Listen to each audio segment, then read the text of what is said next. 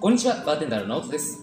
今日はウイスキーを飲むグラスはバカラよりも100均のグラスの方がいい。これを見ていきたいと思います。いろいろ考える方はいらっしゃると思うのですが、個人的にはイエスです。僕個人的にバカラが嫌いなわけでは決してありません。むしろ美しくて大好きです。しかし、ウイスキーを飲むには適さないと思っています。バカラはフランスの超有名なクリスタルブランド。作っているグラスにも30%の酸化鉛が入っています。この酸化鉛がウイスキーの味を変えてしまうんです。バカラのグラスで飲むとまろやかで飲みやすくなりウイスキー本来の味が分からなくなってしまうからです。このことに気づいたのは僕でもマスターでもなくメンバー様です。その方は10年以上同じボトルを飲み続けています。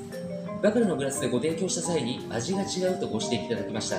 最初はボトルの個体差かなと思ったのですがグラスを変えてご提供した際に味は元通りになります。そこで初めてバカラの影響だということが分かりました。その方が飲まれているのはとてもまろやかで繊細なシングルモルトでした。バカラグラスの影響によりまろやかになりすぎて味が壊れてしまったんです。そのため当店でも鉛の入っていないクリスタルグラスを除きバカラはなるべく使用しないようにしています。